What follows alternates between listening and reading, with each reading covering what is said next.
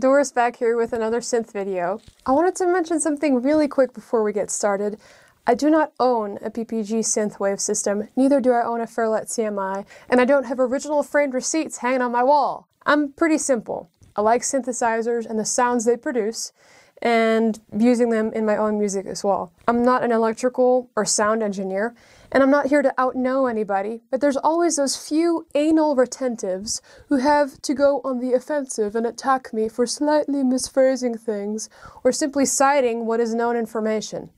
I base everything I say entirely on verifiable info that is easily retrievable online. So if you feel like I don't have enough credibility just because I haven't done 25 hour speeches at sound engineering colleges, then this video might not be a good fit for you.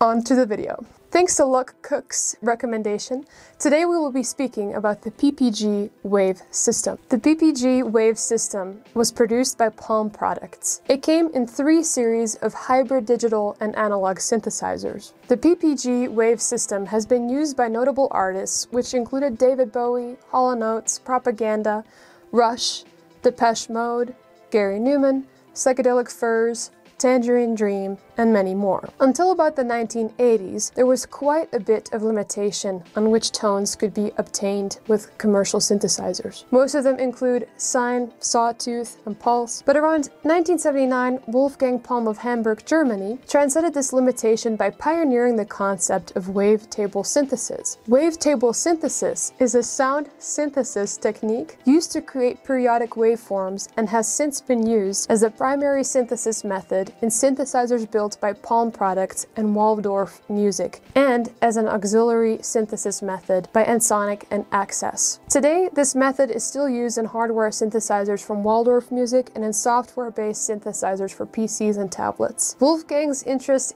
in synthesis technology began as a keyboardist in various local bands in his hometown of Hamburg, Germany. His corporation began when he started manufacturing modular synths in small numbers for different krautrock type bands like Tangerine Dream. It's said that in 1974, Palm produced one of the first programmable synthesizers, one of which was the System 340 synthesizer.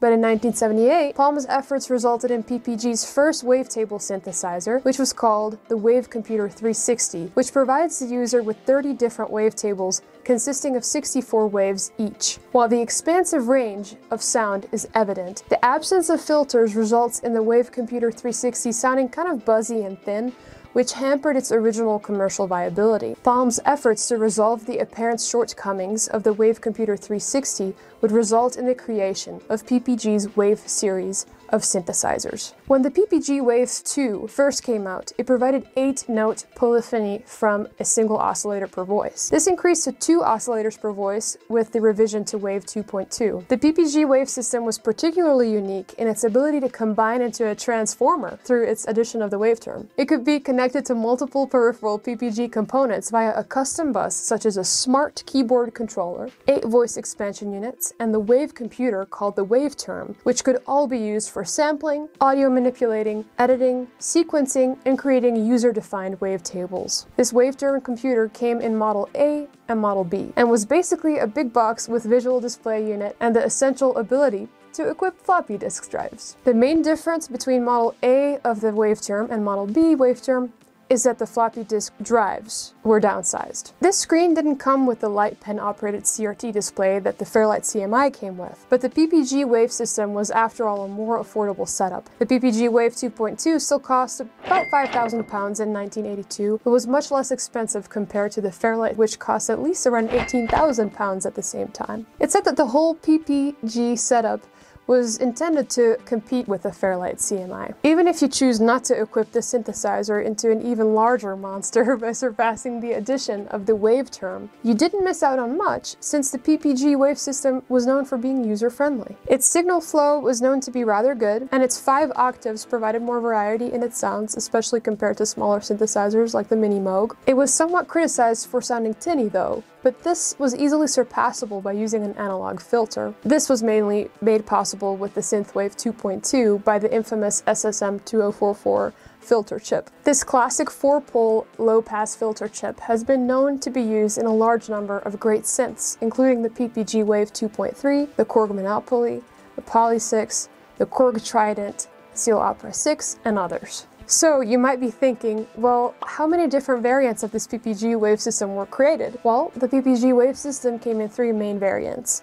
All of them came out in their distinctive RAL 5002 ultramarine blue color. Its first variant came out in 1981 under the name PPG Wave 2. It had eight oscillators, one per voice, 8-bit resolution, single modulation wheel, and CEM 3320 voltage controlled filters. The second variant came out just one year later in 1982 under the name PPG Wave 2.2, which was improved to 16 oscillators, 2 per voice, kept in its original 8-bit resolution, had dual modulation wheels and SSM2044 voltage-controlled filters. The third variant came out in 1984 as the PPG Wave 2.3, which kept its 2 per voice 16 oscillators. Now had 12-bit resolution for samples via the wave term screen only, while otherwise maintaining the 8-bit resolution. Had dual modulation wheels, also kept its SSM2044 filters, but this time came with 8-part multi-timbrality. MIDI support was added in its 1984 PPG Wave Wave 2.3 version. Although the market for these synthesizers didn't last long,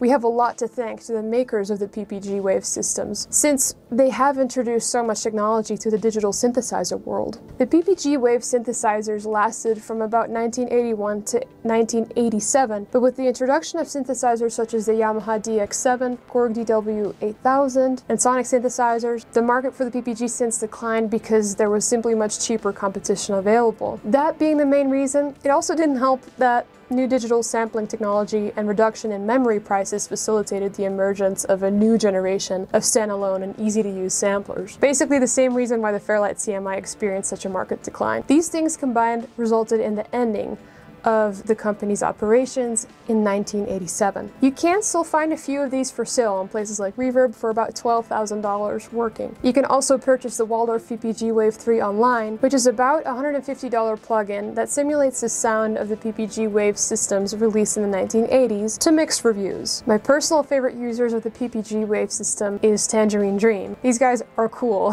and I highly recommend checking them out if you like synth-heavy, krautrock type stuff. They even performed in medieval candlelit cathedrals for added effect, so it's definitely worth seeing. Anyway, I hope you enjoyed this video. Let me know which synth slash keyboard you'd like me to make a video about next time, and I'll see you then.